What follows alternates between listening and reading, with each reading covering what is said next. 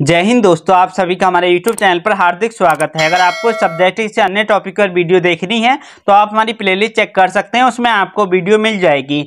यदि अभी तक हमने उस टॉपिक की वीडियो अपलोड नहीं की है, जिस टॉपिक की वीडियो आप सर्च कर रहे हैं तो आप हमें कमेंट कर सकते हैं। हम कोशिश करेंगे चौबीस से अड़तालीस घंटे के अंदर आपको वीडियो प्रोवाइड करा दी जाए। तो आइए आज की वीडियो पर हम चर्चा कर लेते हैं। हमारी जो आज की वीडियो है, वो बीएससी एग्रीकल्चर के फ़र्स्ट सेमिस्टर के एग्रोनॉमी सब्जेक्ट पर आधारित है। तो वीडियो में सबसे पहले हम उन बिंदुओं पर बात कर लेते हैं, जिन पे की वीडियो में हम आगे चर्चा करेंगे।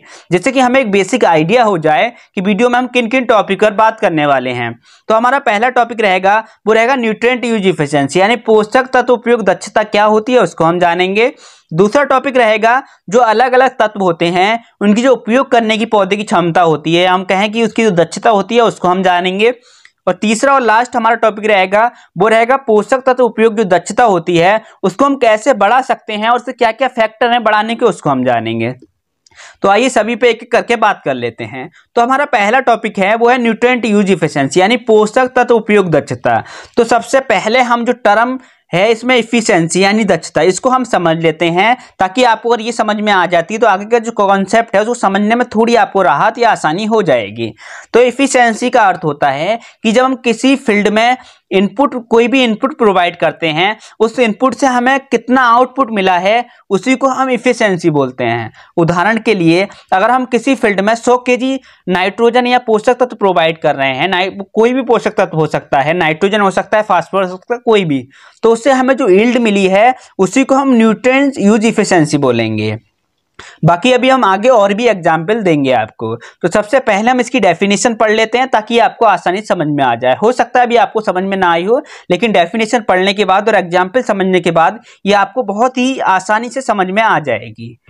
तो किसी फ़सल के लिए प्रयोग की गई पोषक तत्वों की वह प्रतिशत मात्रा, जो पौधे की वृद्धि सॉरी, पौधे की, पौधे द्वारा अपनी वृद्धि एवं विकास में प्रयोग कर ली जाती है और जिससे पौधे की जो उत्पादन है, उसमें वृद्धि हो, उसी को पोषक तत्व उपयोग दक्षता कहते हैं।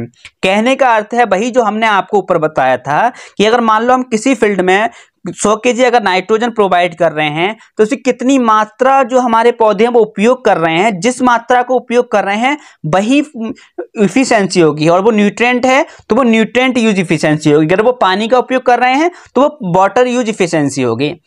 आइए एक एग्ज़ाम्पल से इसको समझ लेते हैं, ताकि आपको एकदम शीशे की तरह क्लियर हो जाए। तो इसका एग्ज़ाम्पल है, धान, मान लो हमारे पास एक धान का फ़ील्ड है, उस फ़ील्ड में हमने पाँच के जी नाइट्रोजन प्रोवाइड की है, तीन के जी पोटास प्रोवाइड की है और जो हमने डेढ़ के जी प्रोवाइड की है, वो फास्फोरस को हमने प्रोवाइड किया है। अब हमें ये देखना है कि जो पोषक तत्व हैं, उनकी कितनी मात्रा का जो उपयोग है वो हमारे पौधे करते हैं। उदाहरण के लिए, मान लो हमारे जो हमने पाँच किलो नाइट्रोजन प्रोवाइड की है, इसमें से चार के जी नाइट्रोजन हमारे पौधे ने उपयोग की, तीन के जी पोटास में से दो के जी जो पोटास है उसका उपयोग किया, और जो डेढ़ के जी फास्फोरस है, उसमें से एक के जी उसने उपयोग किया, यानी पोटा, फास्फोरस का।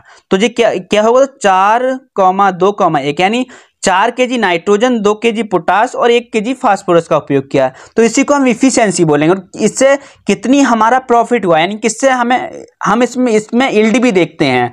यानी हम पूरे उसकी अगर निकालेंगे तो उसमें हम ईल्ड भी देखेंगे कि हमने अगर उसको प्रोवाइड किया है तो हमें उससे ईल्ड कितनी मिली है। तो अब बात कर लेते हैं, जो अलग अलग तत्व होते हैं, उनकी जो उपयोग करने की क्षमता होती है पौधों की, वो उसको हंड्रेड परसेंट उपयोग नहीं कर सकते, बल्कि अलग अलग होती है। जैसे आप अपनी स्क्रीन पे भी देख रहे होंगे, जो अलग अलग तत्व हैं, उनकी जो उपयोग करने की क्षमता है, वो अलग अलग है। क्षमता का अर्थ है, जैसे मान लो हमने अपने फ़ील्ड में सौ किलो नाइट्रोजन प्रोवाइड की, अब उसका जो पौधे हैं, वो हंड्रेड परसेंट उसका उपयोग नहीं कर पाएँगे, बल्कि उसमें से कुछ मात्रा जो होगी, वो या तो रन ऑफ़ हो जाएगी। रन ऑफ़ का अर्थ होता है वो मृदा की नीचे वाली सतह में चली जाएगी या वो निष्क्रिय हो जाएगी खरपतवार वगैरह उसका उपयोग कर लेंगे।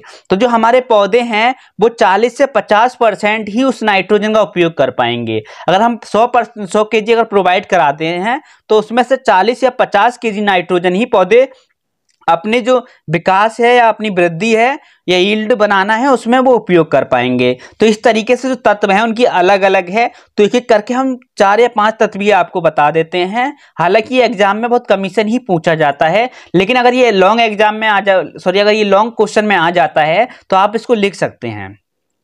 तो सबसे पहले नाइट्रोजन का हम आपको बता ही चुके हैं कि 40 से 50 परसेंट होता है। दूसरा है पोटास। पोटास का जो होता है वो सात से नौ परसेंट होता है। यदि आप सौ किलो नाइट्रोजन प्रोवाइड कराते हैं तो सात से नौ के ही जो पौधे हैं, वो पोटास का उपयोग कर पाएँगे। तीसरा है फास्फोरस की। पंद्रह से बीस परसेंट होती है। चौथा सल्फ़र नौ से दस परसेंट होता है। माइक्रोन्यूट्रेंट जो है, उसकी दो से तीन परसेंट होता है। नेक्स्ट हमारा टॉपिक है वो है जो पोषक तत्व उपयोग दक्षता है, उसको हम कैसे बढ़ा सकते हैं? यानी हम उसको कैसे इंक्रीज कर सकते हैं? तो इसके कई सारे फैक्टर हैं तो आइए सब पे एक एक करके बात कर लेते हैं। तो हमारा पहला फैक्टर है, या हम कह सकते हैं कि जो हम पहली, जो प्रयोग उसमें करेंगे, वो ये करेंगे कि जो पौधा है, उसको आवश्यकता हो, उतना ही हम पोषक तत्व उसको प्रोवाइड करें। यानी जितना पौधे को आवश्यकता हो, उतना ही पौध, हम जो है पोषक तत्व उसको प्रोवाइड करें। उदाहरण के लिए, मान लो आपको एक गिलास पानी पीना है, और अगर हम आपको दस दस गिलास पानी अगर प्रोवाइड कर दें, या हम आपको दस दस गिलास पानी दे दें तो आप क्या करोगे? एक गिलास पानी पीने के बाद बाकी जो नौ गिलास पानी है, उसको फेंक दोगे। तो इससे क्या होगा? वाटर का लॉस हो जाएगा। तो समझदारी ये है कि जो पौधे को जितनी मात्रा में पोषक तत्वों की आवश्यकता है, उतना ही उसको प्रोवाइड किया जाए। दूसरा है, सही समय पर उपयोग किया जाए।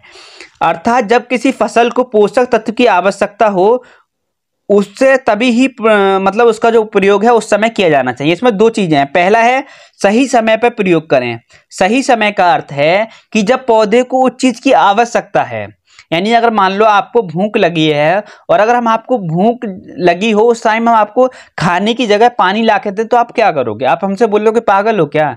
जब जिस चीज़ की हमें आवश्यकता है, वो हमको तो जब हमको भूख ही लगी है तो हम खाना खाएँगे, ना कि हम पानी पियेंगे दूसरा आया था आवश्यकता। तो आवश्यकता हम आपको बता ही चुके हैं कि जिस चीज़ की आवश्यकता हो, जैसे आपको खाने की आवश्यकता है तो आप खाना ही खाएँगे। उस तरीके से जो पौधे होते हैं, उनको जिस चीज़ की आवश्यकता है, मान लो उसको अगर नाइट्रोजन की आवश्यकता है, उसको नाइट्रोजन प्रोवाइड करें। फास्फोरस की आवश्यकता है, उसे फास्फोरस प्रोवाइड करें। तीसरा है, जिस तत्व की आवश्यकता, ये रिपीट हो गया, क्या? ये रिपीट हो गया है, जिस तत्व की आवश्यकता हो, वही तत्व प्रदान करें। यानी होता क्या है कि जो पौधे होते हैं, वो उसमें क्या होता है, जो तत्व का काम होता है, वही करेगा। उदाहरण के लिए, जिस जो काम नाइट्रोजन का है, वो फास्फोरस नहीं कर सकता। जैसे अगर मान लो किसी फ़ील्ड में नाइट्रोजन की आवश्यकता है और आप भर के उसमें सल्फ़र डाल दो, कोई फ़ायदा नहीं है। क्योंकि पौधे जो होगा वो हो सकता है उसको कुछ मात्रा में उपयोग कर ले, लेकिन वो ज़्यादा मात्रा में उसका उपयोग नहीं कर पाएगा। जैसे हमने आपको पीछे उदाहरण दिया था खाने और पानी का। अगर हम आपको खाने की जगह पानी दे दें तो हो सकता है आपकी कुछ मात्रा उसकी पी लें, क्योंकि आपको भूख लगी है। लेकिन आपके जो भूख है, वो पानी से शांत नहीं होगी, आपको उसको खाना ही खाना होगा। उसी तरीके से जो पौधे हैं, उनको अगर नाइट्रोजन की आवश्यकता सकता है तो उसे नाइट्रोजन ही प्रोवाइड करानी होगी। अन्य तत्व से कोई काम चलने वाला नहीं है। इसलिए कहते हैं कि जो तत्व की आवश्यकता हो, वही तत्व पौधे को प्रोवाइड कराएँ। हमारा लास्ट है, वो है कार्बनिक उर्वरकों का अधिक उपयोग करें। और जो रसायन उर्वरक हैं, उनका जो उपयोग करें, वो आवश्यकता अनुसार करें। ऐसा क्यों करें? क्योंकि जो कार्बनिक उर्वरक होते हैं, जैसे कि हरी खाद हो गई, गोबर की खाद हो गई, कंपोस्ट वगैरह हो गई, या जो बर्मी कंपोस्ट वगैरह होती है, उनकी अगर हम बात करें तो पौधे जो होते हैं, यानी जो मृदा होती है, उसको बहुत लंबे समय तक धारण करके रखती है। उदाहरण के लिए, अगर हम किसी फ़ील्ड में गोबर की खाद को डालते हैं तो जो हमारे पौधे हैं, वो बहुत लंबे समय तक उसका उपयोग कर पाएँगे। लेकिन वही जो रासायनिक उर्वरक होते हैं, यानी जो केमिकल के द्वारा बनाए जाते हैं, वो ज़्यादा लंबे समय तक नहीं चल सकते। बल्कि उनका फ़ायदा ये होता है, वो रहें भले मतलब कम समय के लिए, पर बहुत तेज़ी से पोषक तत्व प्रोवाइड कर देते हैं। जैसे मान लो, किसी फ़ील्ड में नाइट्रोजन की आवश्यकता हो गई, अगर आप नाइट्रोजन गोबर की खाद से पूरी करेंगे तो पौधे को इतनी जल्दी फ़ायदा नहीं होगा। लेकिन आप उसमें केमिकल मतलब अगर उसमें आप नाइट्रोजन डाल देते हैं, कृत्रिम तरीके से बनी हुई, जो पौधे होते हैं, बहुत तेज़ी से उसका उपयोग कर लेंगे। यानी एक से दो दिन में पौधे जो वो अपनी कमी को पूरा कर लेंगे। इसलिए कह रहे हैं कि जो पोषक तत्व हैं, उनमें जो केमिकल वाले हैं, उसका उपयोग आवश्यकता अनुसार करें, जब ज़रूरत अधिक हो। तो इस तरीके से हम पोषक तत्व जो क्षमता है उसको बढ़ा सकते हैं। हम आशा करते हैं आपको ये वीडियो बहुत पसंद आई होगी। अगर ये वीडियो आपको पसंद आई हो तो वीडियो को लाइक, शेयर, कमेंट करना नहीं भूलिए। मिलते हैं नेक्स्ट वीडियो में।